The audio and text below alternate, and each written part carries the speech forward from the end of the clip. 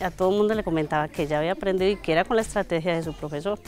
Entonces, fue, es algo muy gratificante para uno como padre de familia ver que, que hay estrategias tan buenas para que, y el profesor que, que hayan profesores así que se que traigan esas estrategias a, a las escuelas para que los niños aprendan más, más rápido.